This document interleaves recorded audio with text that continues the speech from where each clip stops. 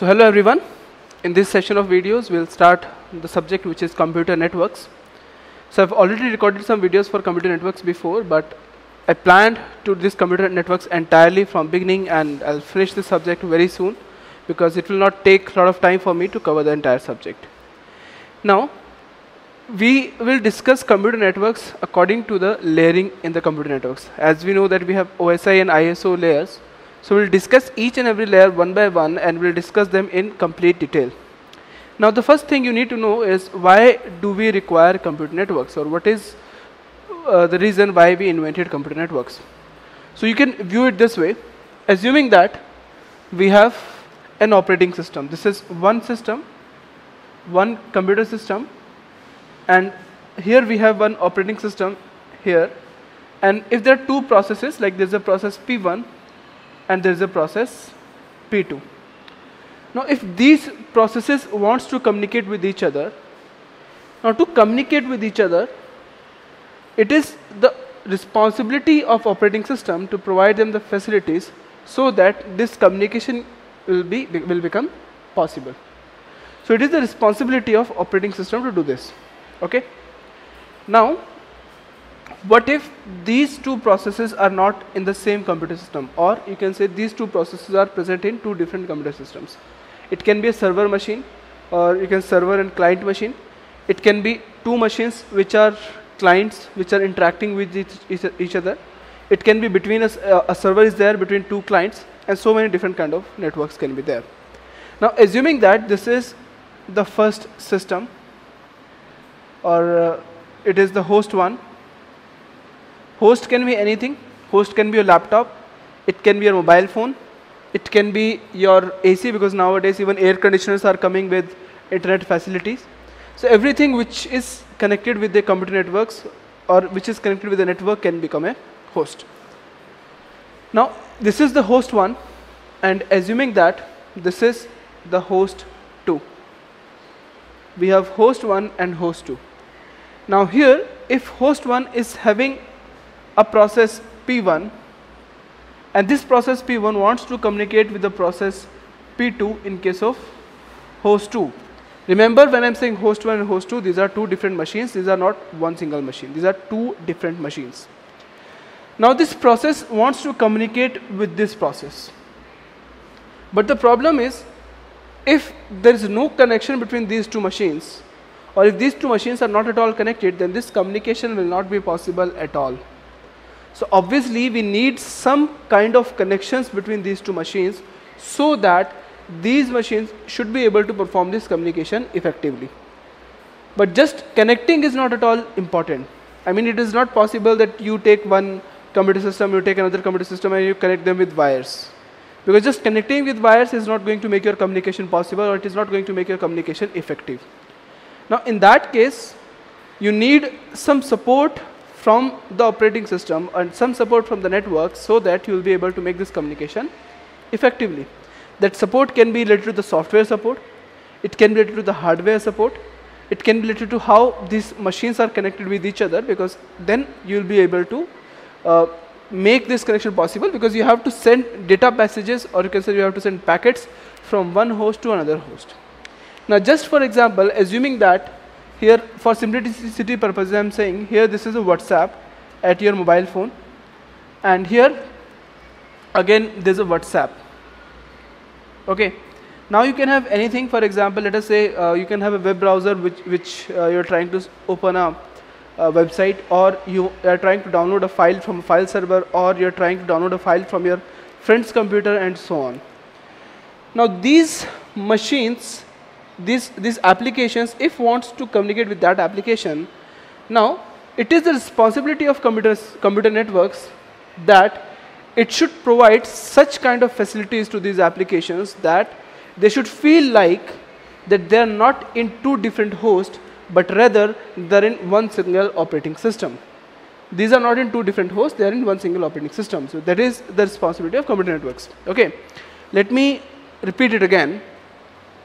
So it is the responsibility of computer networks to make sure that the applications which are communicating with each other, they should not feel like these applications are in two different machines, they should feel like these applications are present in exactly the same machine. They are not present in two different machines. Okay? This is the first responsibility of computer networks. Now to perform this responsibility, there are various, various uh, layers that are present and there are various type of connections that can be there. For example, here, this host can be connected to a router here. This router can be connected to another router. This router can be connected to another router. Further, this router can be connected to this host.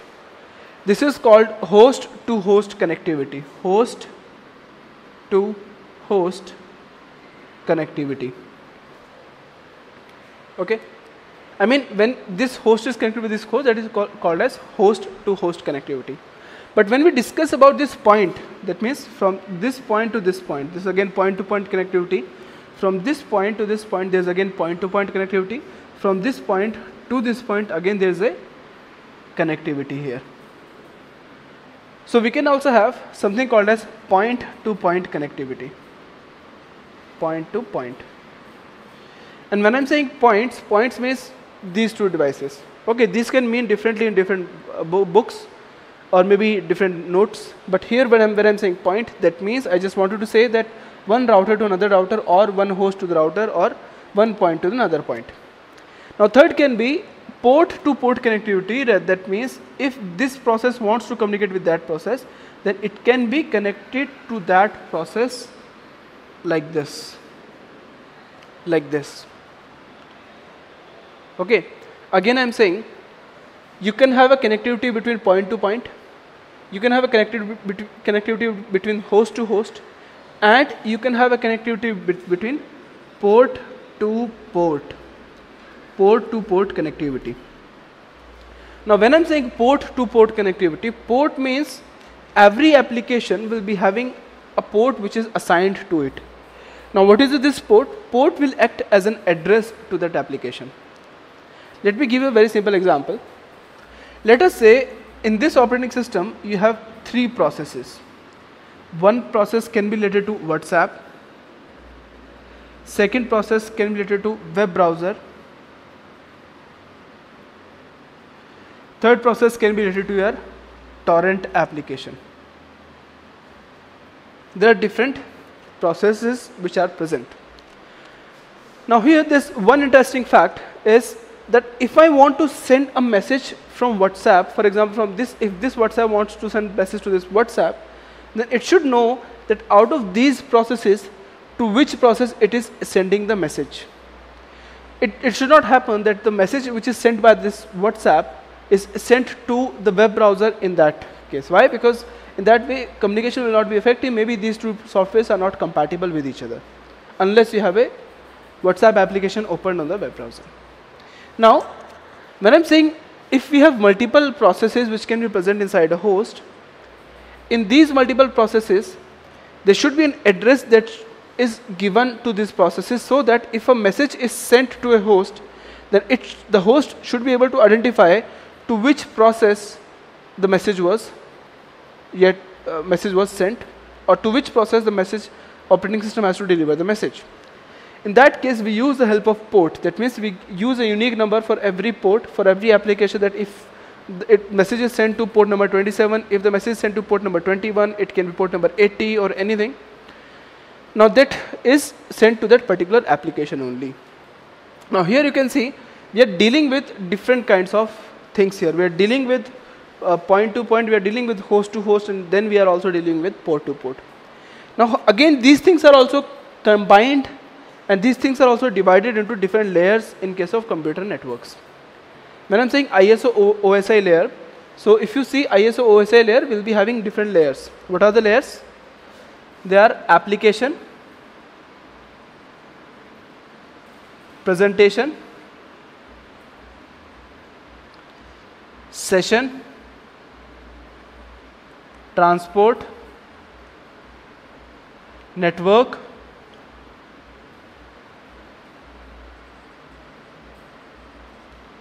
data link and physical application presentation session transport network data link and physical so that is using your ISO OSI layering. Now easiest way to remember this is आप पर से transport नहीं दे पाया that is the way I remember it because I found it so because we need to remember them with the uh, uh, like uh, with the order. So you can just give any name to this. So it, one simple name is aap per se transport nahi de paya. So there is application presentation session transport network and data link and physical. Now again this physical layer deals with your physical topology of the network and the physical wires or the cables or the connectivity medium that is there that is dealt by the physical layer. Then we have a data link layer and this data link layer deals with this point to point connectivity. And this network layer deals with the port this host to host connectivity. Transport layer deals with the port to port connectivity. And even after doing this you have three more layers which are application, presentation and session. See, we know that physical layer deals with your physical structure of the network. After physical structure, it also deals with what is the topology, topology or wires or medium of communication. It can be wireless or wired or whatever. So that is dealt by a physical layer. Again, data link layer deals with this point-to-point -point connectivity Network layer deals with host-to-host -host connectivity. Transport layer deals with port-to-port -port connectivity. And then we have session layer, which deals with the sessions. And uh, presentation layer deals with how the data is presented from one format to another format. Just for example, let us say if one host is using ASCII code to represent some data, and this host is using assuming Unicode or maybe EBCDIC code. Let us suppose it is using Unicode. There are different coding systems to represent different kind of characters. Now, if this, this whatever character here is sent to this machine, then it should show exactly the same data. For example, here let us say I'm sending a letter, hi, my name is Himanshu. Hi, my name is Himanshu. Now, when this data or when this letter is sent to this WhatsApp, then it should show, how, hi, my name is Himanshu. It should not change the letters or words right? So sometimes we have different codes like we have EBCDIC code, we have Unicode, we have ASCII code. So these machines can have different kind of codes. Now it also it is also dealt by the presentation layer how you do you are going to do this. We'll discuss about them one by one. So in this entire subject of computer networks, we'll be taking each and every layer one by one and we'll be discussing about that layer in complete detail. And when I'm saying complete detail, that means I'm going to take very small things smallest to small things and some concepts which are advanced concepts as well as I'm also going to take questions from every examination, every possible examination. It can be GATE, it can be UGCNET, it can be DSSB, it can be KV, it can be uh, BARC, DRDO, ISRO or any other, any other examination. So I'm trying to cover questions from each and every examinations. Okay. Now here in, in our entire discussion, we'll start with the data link layer we'll start with the data link layer. So we'll discuss about the concepts in the data link layer because I feel that is a very easy entry point to the subject uh, if we start with the data link layer. After covering data link layer, we'll cover network layer, then we'll cover transport layer, then we'll cover all these three layers at once. In the end, we are going to cover the physical layer. And a part of this, we are also going to discuss about the computer network security, and IPv6 that is Internet Protocol version 6. So we are going to discuss both IPv4 as well as IPv6. So I say that after covering all these lectures, you are not going to miss each any single question from your examination because I'm trying to make these videos very thorough and I'm trying to make these videos very useful. So uh, number of hours for this video will be large as compared to, I guess this subject will be big. So uh, number of hours will be equivalent to two subjects. I mean, if you cover two subjects, then this subject is going to cover that equivalent number of hours here. Okay. Now let us start with the data link layer. We'll discuss the concepts of the data link layer and then we'll also solve the questions for the data link layer. Okay. So all the best. Hi all, subscribe to our channel on YouTube and click on the bell icon to get the latest updates. For course inquiries, visit our website www.gatelectures.com and don't forget to register and subscribe to the latest post section.